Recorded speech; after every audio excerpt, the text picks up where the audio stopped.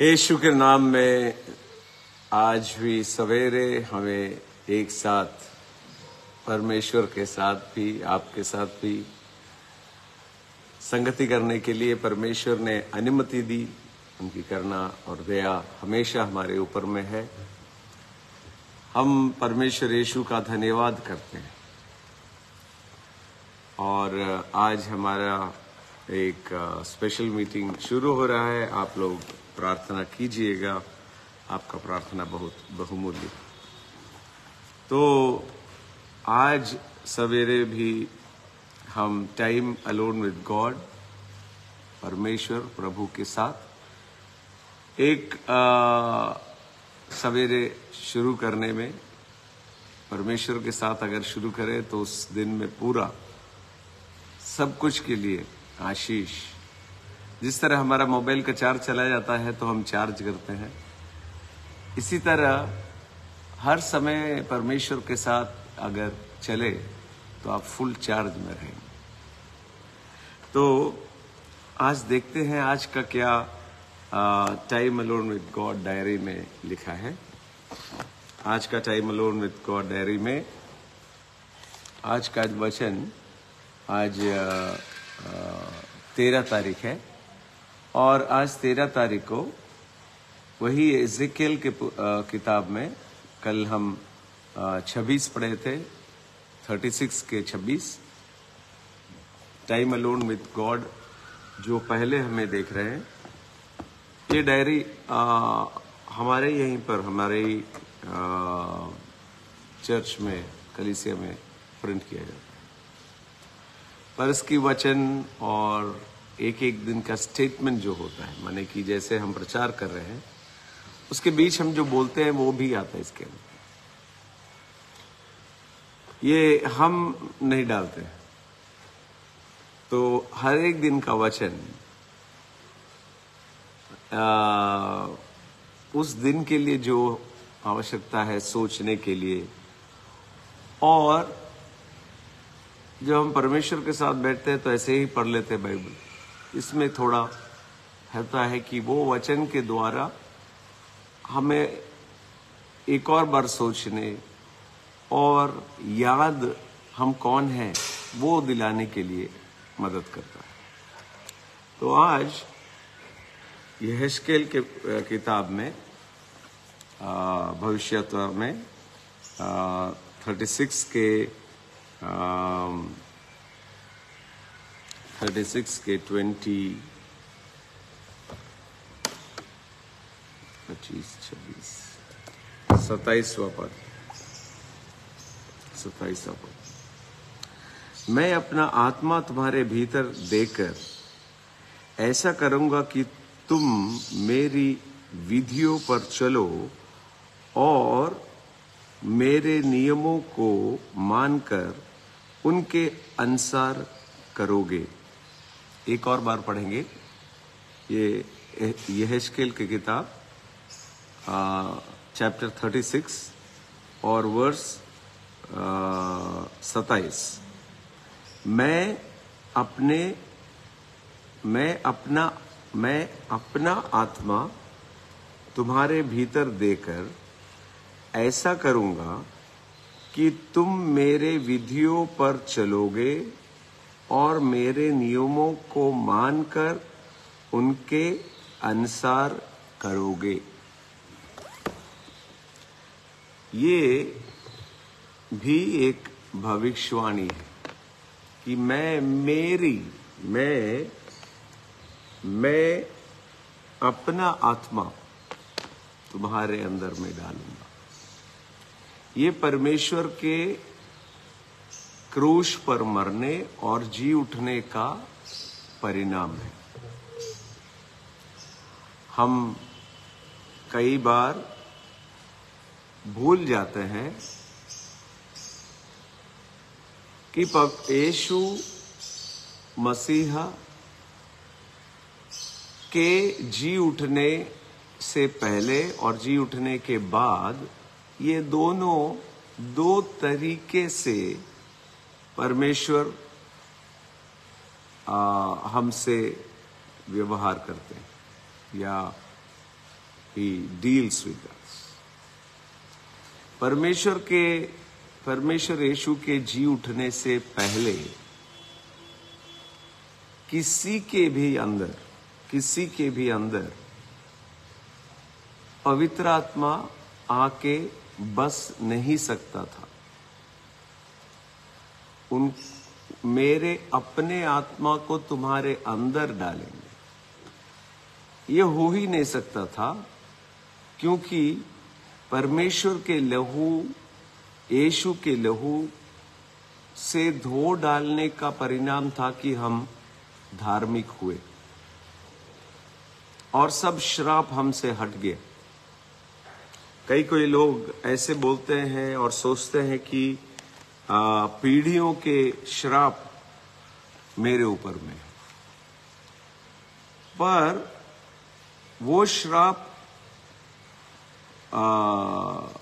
जो पीढ़ियों के ऊपर थे, वो हमारे से निकल गया है, हट गया है।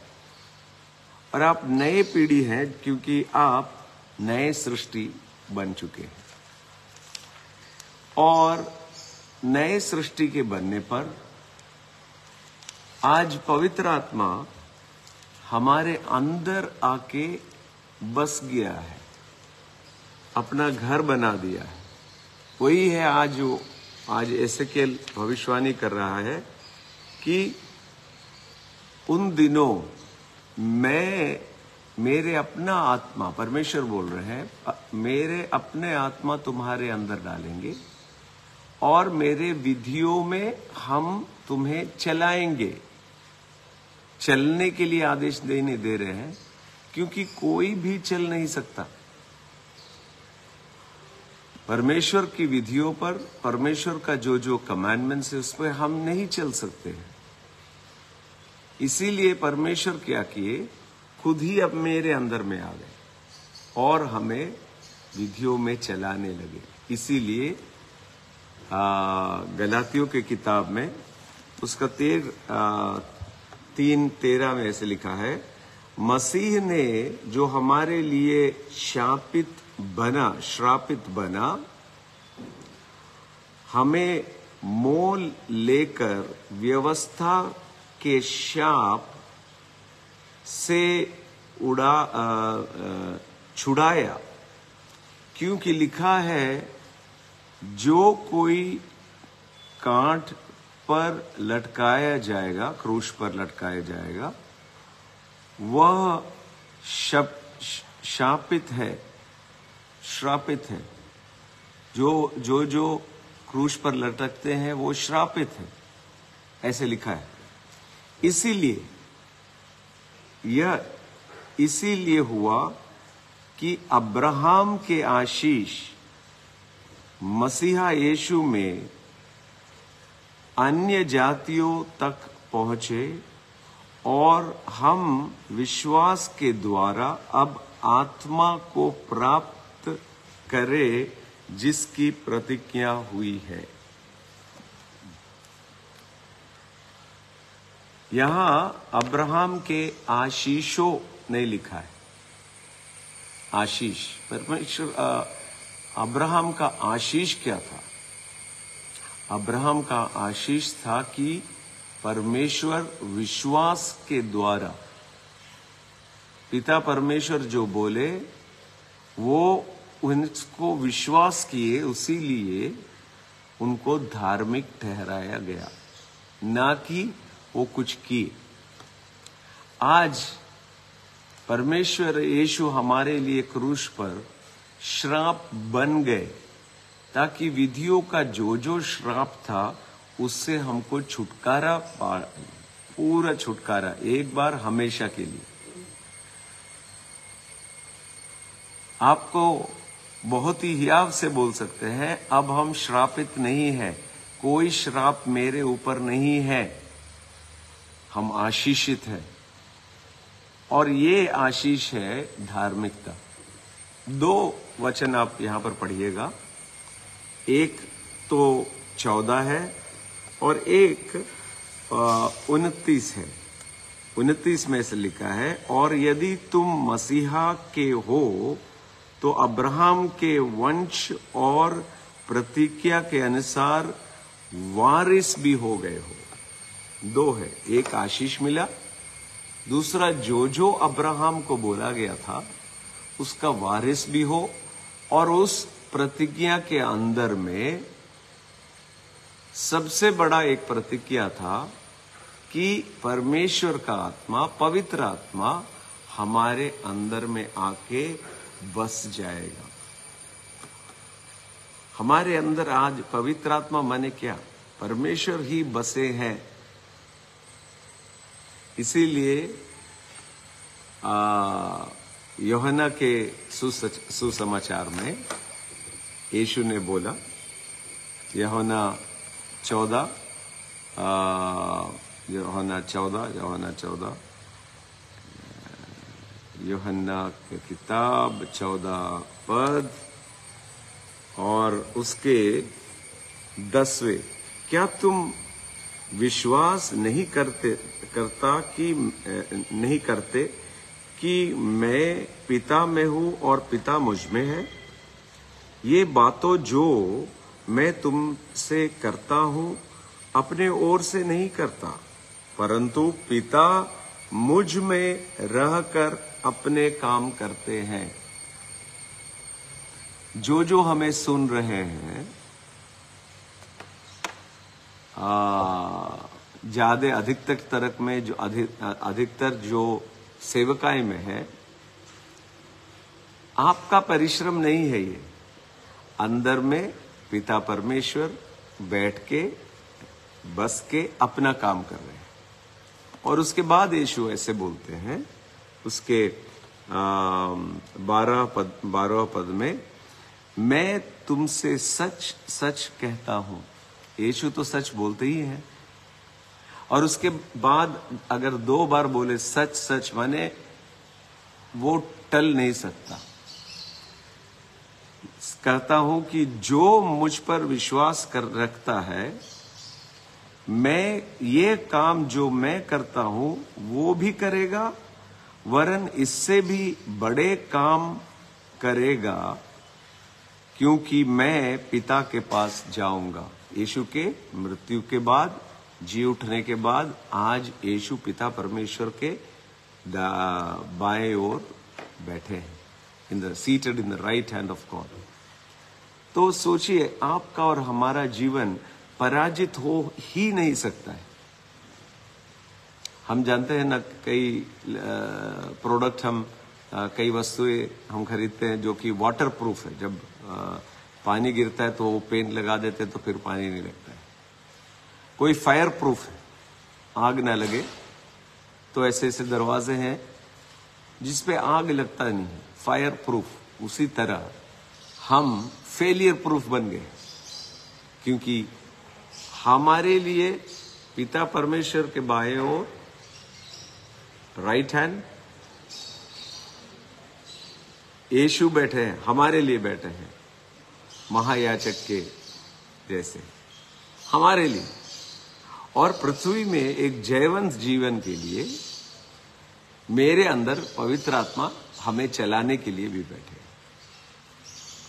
अब सोचिए, पिता परमेश्वर हमसे प्रेम करते हैं, इसीलिए वो यीशु को अपने साथ बैठाए हमारे लिए। पिता हमसे प्रेम करते हैं, इसीलिए यीशु को बैठाए। और मेरे अंदर में है पवित्र आत्मा हमें सच्चे मार्ग में, विधियों में चलाने के लिए।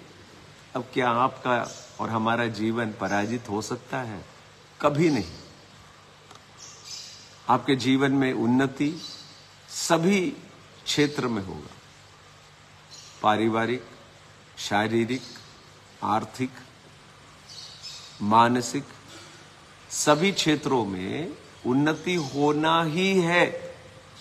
क्यों?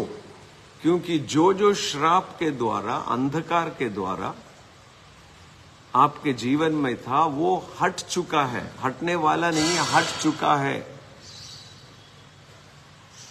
बस एक ही काम करना है विश्वास करना है कि ये हमारे लिए अब देखिए जाते जाते यीशु क्या बोल रहे हैं। आ, मैं पिता ये सोलह पद है। यहोना चौदह का सोलह पद आप सोचिएगा कि यहोना तेरह चौदह सत्रह ये चौदह पंद्रह सोलह सत्रह ये चार बहुत ही इम्पोर्टेंट है बहुत ही आ, इसमें रहस्य छुपा हुआ है। तो यहाँ लिखा हुआ है सोलह में मैं पिता से विनती करूँगा कौन? यीशु।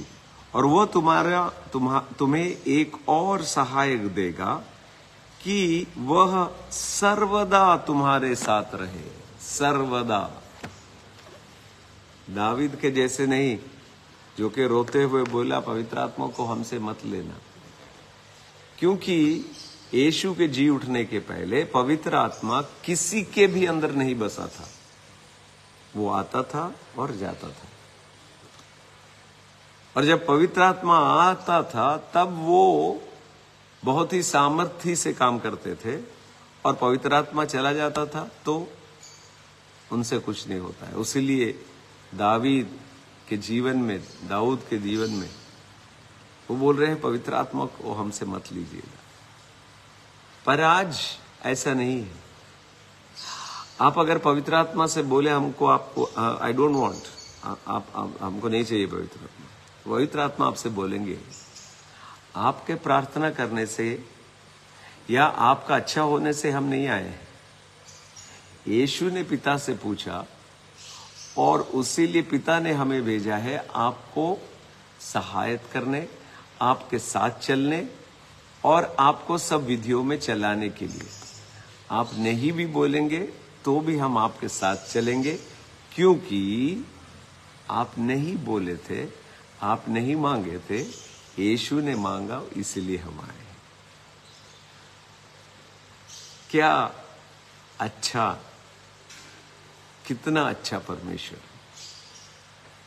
जो कि चाहते हैं कि आप और हम अपने जीवन में जयवंत हो ट्रायम्फेंट हो।